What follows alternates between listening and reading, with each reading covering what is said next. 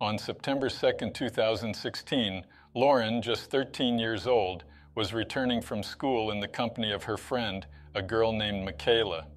They took the same route back every day, but that day something terrible happened. Lauren and Makayla were victims of an insane and senseless crime in a case that shocked the city of Wichita Falls, Texas. Hey everyone, how are you all doing? Welcome back to the channel, and in today's video I'm going to talk about a case that happened in Texas in 2016. So, without further ado, let's get to the video.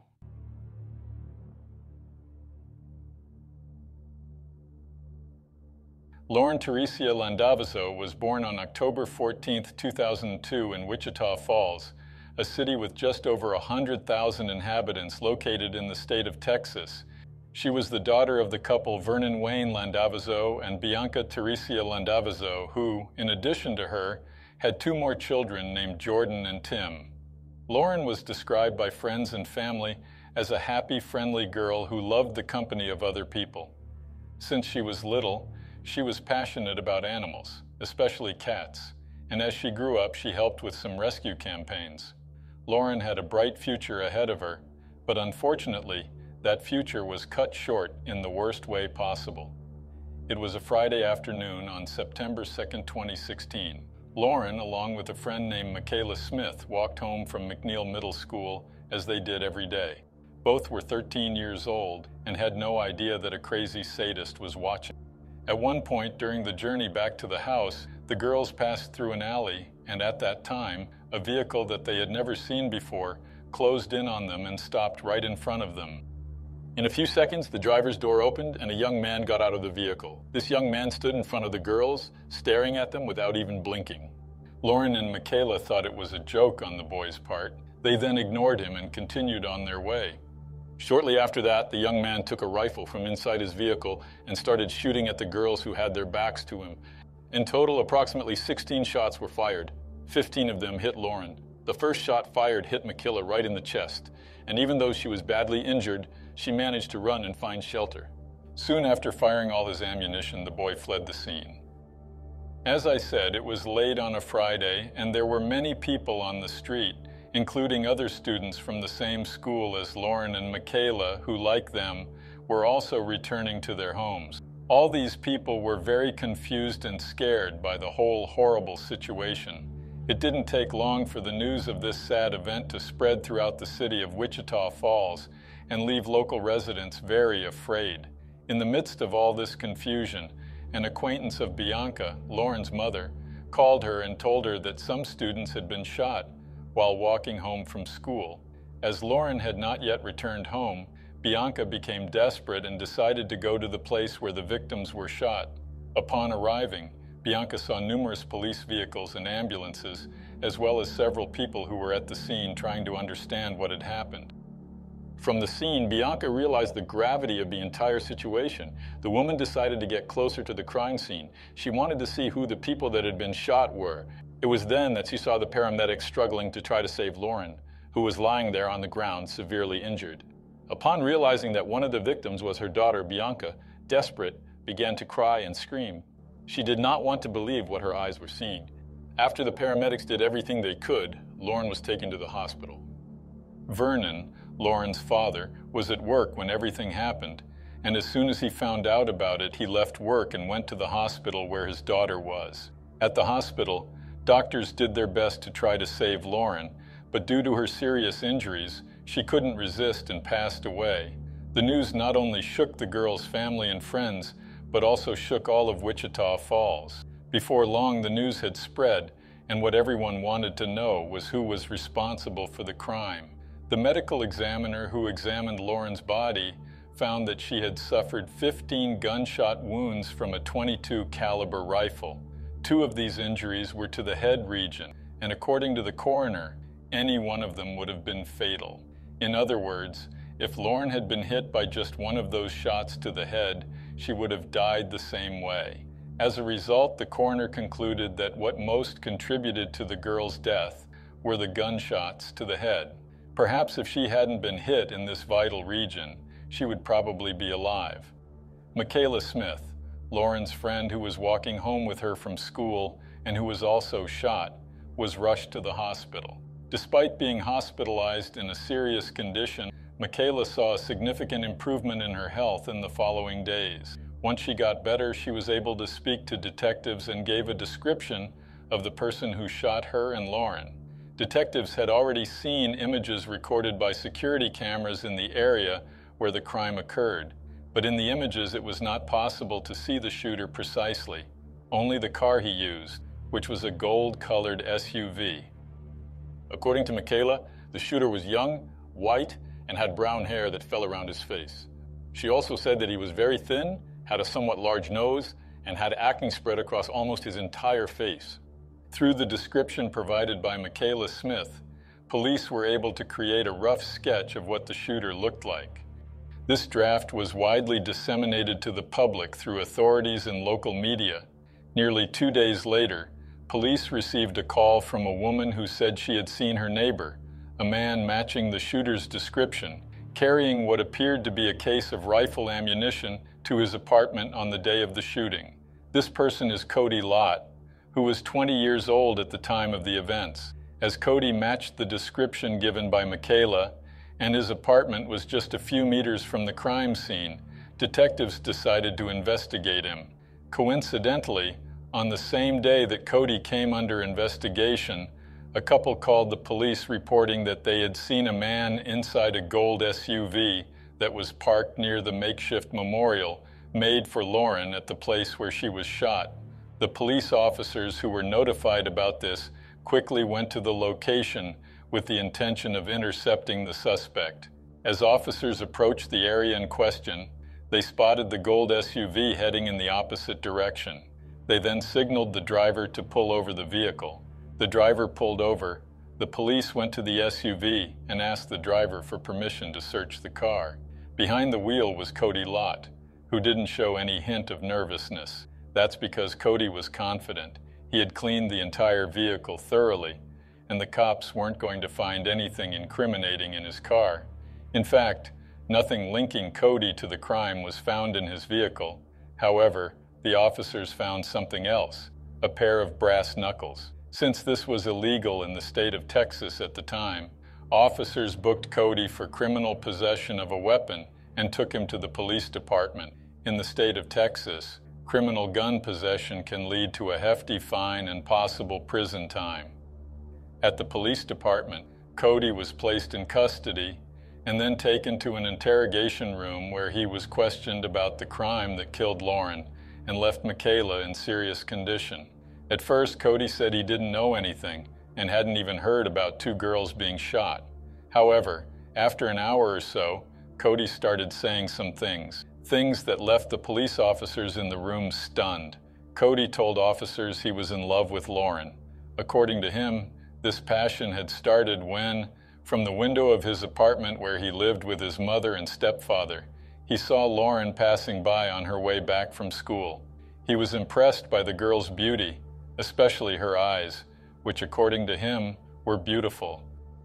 After seeing Lauren for the first time and falling in love with her, Cole said he waited at his apartment window every day just to watch her from afar. The route that Lauren had to take to get back home from her school could definitely be seen by Cole through the window of his apartment. As time went by, Cody, in his sick mind, began to believe that Lauren belonged to him. He had never even exchanged a single word with the girl, but in his mind, she was born to be his. All the insane passion that Cody had for Lauren turned into hatred in just a few months. This happened after Cody saw the girl holding hands with a boy her age who attended the same school as her. To Cody, that was an unforgivable betrayal, and Lauren would pay dearly for it. Determined to get revenge, Cody spent days planning how he would do it. On the day of the crime, he took one of his stepfather's rifles from the gun cabinet and waited for Lauren to appear. When Lauren appeared returning from school with Makayla, Cody left the apartment, got into the SUV, and headed towards the girls. He stopped right in front of them, blocking their path. Then he got out of the vehicle and stood there staring at them. The girls thought it was some kind of joke, they then ignored him and continued on their way home. At that moment, Cody grabbed the rifle from inside the vehicle and started shooting at the girls who had their backs to him. The first shot hit Makayla right in the chest area. The girl fell to the ground, but then she managed to get up and ran to a safe place. All the other shots hit Lauren, who, according to Cody himself, was the main target. Cody even regretted the fact that he ran out of ammunition. He stated that if it weren't for that, he would have ended up with Makayla, too. Cody told the police that despite the whole situation seeming very sad, the truth was that everyone should be happy. According to him, he was a hero because by taking Lauren's life, he prevented her from becoming a victim of bad people in the future. In his mind, he saved Lauren from the dangers that were to come. After shooting the girls, Cody told police officers that he fled the scene when he realized that a confused crowd was forming to try to understand what had happened there. He drove the SUV to a field where he hid the rifle and then drove away to his apartment. Later that night, when he felt he was safe, he returned to the field, picked up the rifle, and put it back in his stepfather's gun cabinet. Even though he discharged a rifle in broad daylight at two girls on a public street, in his head, Cody believed he would never be caught. He told the detectives that they would never catch him because he had no connection with the victims and therefore the police would not be able to reach him. Even during Cody's confession, detectives questioned him about why he took the life of someone who didn't even know he existed. Cody just said that Lauren was destined to be his girlfriend, but after he saw her holding hands with another boy, he decided that if she wasn't going to be with him, he wouldn't be with anyone else. If all these absurdities that Cody said to the detectives weren't enough, he went even further. He told the police that they had an accomplice and that this accomplice was crucial for him to be able to commit the crime. But this accomplice wasn't just anyone, it wasn't even a person. According to Cody, his accomplice was the devil himself. According to Cody, he and the devil talked a lot in the days leading up to the crime and Cody was instructed to take Lauren's life because she didn't value him. Cody also said that the devil would help him get away and he wouldn't be caught by the authorities. After hearing Cody Lott's entire confession, authorities arrested him and charged him with the crime against Lauren. Despite having told practically everything about how he committed the crime, Cody pleaded not guilty to all charges against him. Even so, the police had more than enough to keep him in custody and with that, he was held on a $4 million bond while awaiting his trial. In a search of the apartment where Cody lived with his mother and stepfather, police officers found several compromising images on his electronic devices, such as computers and cell phones. Most of these images were of underage women performing adult content. As a result, possession of explicit content was added to Cody's list of crimes. While he was in prison awaiting his trial, Cody was evaluated by some psychiatrists. He even told one of them that he harbored hatred in his heart for feminine nature. Like most young people who commit crimes similar to this, Cody was also described as a loner, but unlike the others, Cody interacted socially with other people and even had some girlfriends. However, psychiatrists defined him as an emotionally immature and very demanding person. This caused him to push away all his girlfriends one by one. As time went by, he became increasingly lonely and began to envy the people around him who were in healthy relationships. According to psychiatrists, at that time Cody isolated himself from the world, and upon seeing Lauren for the first time, he began to fantasize about romance with her. In the boy's mind, Lauren was perfect in every way and was devoted to him, and only to him. Seeing her with someone else ruined everything, and for that, she had to pay. The detectives even spoke to one of Cody's ex girlfriends to gather more information about him. According to this ex girlfriend, Cody had a difficult personality and on some occasions had tantrums for whatever reason. In one of these attacks, the ex girlfriend told detectives that Cody tried to suffocate her with a seatbelt. After that, she became scared and decided to break up with Cody. Cody didn't want to accept the end of the relationship, and in retaliation, he kidnapped his ex girlfriend and also her son. He kept the two under his power for a few hours. He threatened them and also attacked them. After that, Cody no longer went after his ex girlfriend, and she, knowing what he was capable of, decided not to report it to the police. She said that when she found out he had been arrested, she felt relieved because now he won't be able to hurt anyone else. Detectives also spoke to some of Cody's classmates who went to high school with him. According to most of them, Cody was spoiled and believed that the world, and everyone in it, should bend to his will. He was also described as a bad-tempered person who demanded a lot from those around him. In addition to all this, authorities also discovered that Cody regularly used drugs, something that only those closest to him knew. To those who saw Cody Lott from a distance, he appeared to be a seemingly normal person.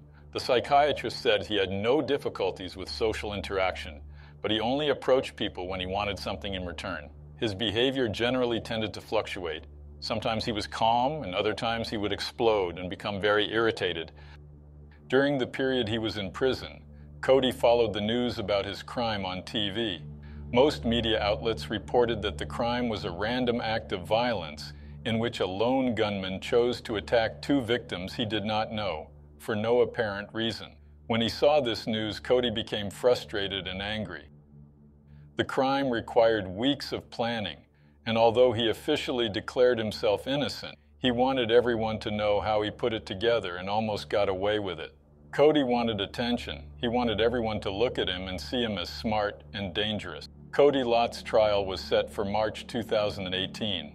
However, his defense argued that he had mental problems and was incapable of being tried as a normal person. The court accepted this argument, and for six months, Cody underwent intensive treatment in a psychiatric center.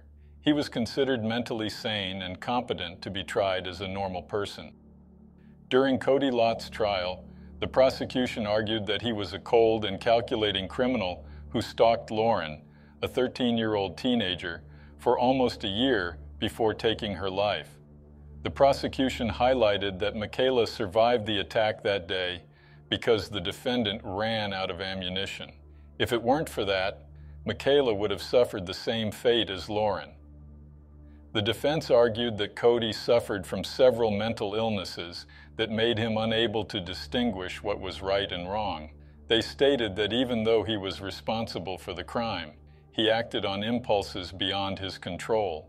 The defense also said that Cody Lott was not a cold and calculating criminal, but rather a victim of the bad thoughts that dominated him. After hearing arguments from the prosecution and defense, the jury deliberated for about 40 minutes before returning the verdict. In the end, on September 19, 2018, Cody Lott was found guilty on all charges. He was sentenced to life imprisonment plus 20 years in prison. Under current Texas laws, Cody will be eligible for parole in 2048. If he serves his entire sentence as scheduled, he will be over 50 years old when he makes his first attempt at parole. During the trial and after his sentencing, Cody kept the same arrogant face without a hint of remorse. At no point did he apologize, much less express any regret for what he did. He is currently incarcerated in a prison in Texas where he will spend many years. A statue of a black horse was placed at McNeil Middle School in honor of Lauren and Makayla. The statue, in addition to displaying positive messages such as love and live, also features purple and blue footprints, the two best friends' favorite colors. Makayla is doing well today, despite having to carry a physical reminder of that terrible day with her wherever she goes. The projectile fired by Cody, which hit her squarely in the chest, is still lodged in the same place. Doctors said removing it would be too risky, so they chose to leave it where it is. They hope that over time the projectile will move to a safe area where it can be extracted, but it is not certain that this will happen. In October 2020, some vandals went to the McNeil Middle School and removed the horse statue from the site.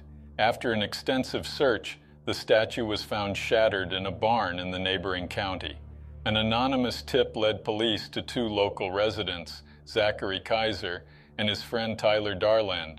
Both were charged and arrested for theft and destruction of property. Shortly afterwards, police arrested Dakota James and Braden Seward, accused of also having participated in the crime of vandalism. Zachary Kaiser and Tyler Darland, the first two vandals to be arrested, were ordered to pay a $400 fine in restitution. They were also sentenced to two years in prison. However, Lauren's parents asked the sentencing judge to have the sentence suspended, as they believed Zachary and Tyler would find redemption outside of prison. About four months later, Zachary Kaiser was arrested again for another crime he committed. This time he was put in prison where he will spend a few years. A replacement statue was commissioned thanks to the help of friends, neighbors, and family of the victims. And on May 27, 2021, a new memorial was installed in front of the school where Lauren attended. Lauren's funeral and burial took place in September 2016 in Wichita Falls. The farewell ceremony was attended by hundreds of people, including the victim's family, friends, and schoolmates. Lauren's case had huge repercussions throughout the state of Texas. In June 2019, the Texas government passed Lauren's Law, which makes a crime against a person under the age of 15 a capital offense. Vernon and Bianca Landavazo fought hard to get this law passed. While this law is not retroactive and therefore cannot be used in their daughter's case to increase Cody Lott's sentence, Lauren's parents believe it will prevent many other teenagers from falling victim to crimes of the same nature as their daughter was, something that will stop other families from suffering like they are suffering. Well guys, that's it. Thank you so much for watching until now, and I'll see you in the next video.